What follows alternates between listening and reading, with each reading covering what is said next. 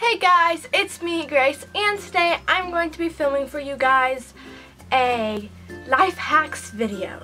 Now, I've only filmed one life hacks video before, so I'm sorry if this is a little bad, because I'm still getting used to it. And since it's starting to be the end of the school year, we have exams coming up. Even though I'm in 7th grade, I still have exams. It's horrible. It's bad. I don't like it. But we still have exams. So that is why I did not post last week. And another reason why I didn't post last week is because I was so busy. I stayed out so late that weekend. I did not have time to post or edit or anything.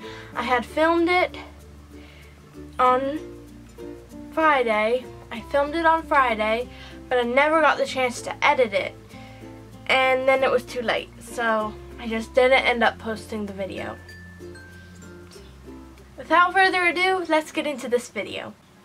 Okay, the first out of five life hacks is spraying the key points of your body with perfume, which would be like your neck, behind your ears, your hair, and the whatever you call crevices of your elbows. Like here's your elbows, here's the crevice of it, there, and then behind your knees. So would it be behind your elbows? Yeah. So behind your elbows and then behind your knees. I'm pointing to my knees. My knees are down, down, here. So. The second beauty life hack is is applying your bronzer in a three shape so it's just like swoop swoop swoop swoop swoop just on your forehead then under your cheekbone and on your jawline again I have a clip so you can look at it and see the difference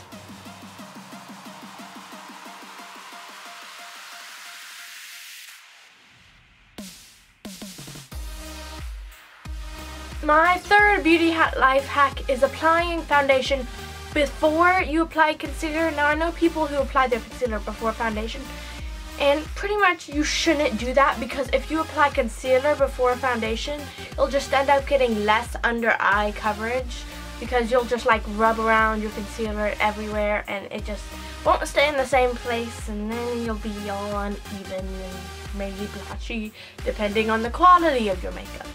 So just apply foundation before you apply concealer. Now I don't have a clip for this because I don't know why. I don't have an excuse for this.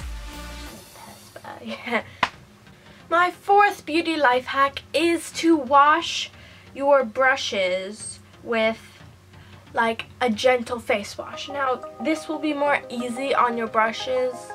I just, I had figured this out a while ago but if you have a more like expensive, like more working, gentle, actual brush cleaner, use that. But if you end up not having brush cleaner and you're just cleaning your brushes with like hand soap or dish soap or don't do that.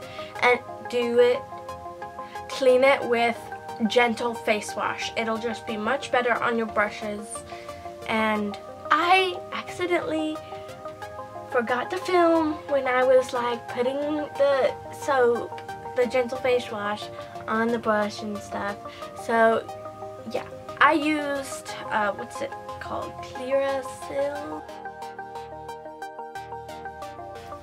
And my fifth and final life hack is to find your natural part. So I have an example of this clip. But what I used to do was I just like brushed it all back and then I used my fingers and started from the start and just like peeled back the hair into like a straight middle line. But then one day my hairdresser showed me that if you you still brush all your hair back like you're about to put it in a ponytail, but then the back of your head, you push up your hair like this and it'll um, push your hair and then your hair will just fall into a natural part and then you just brush it down from there and see, straight line.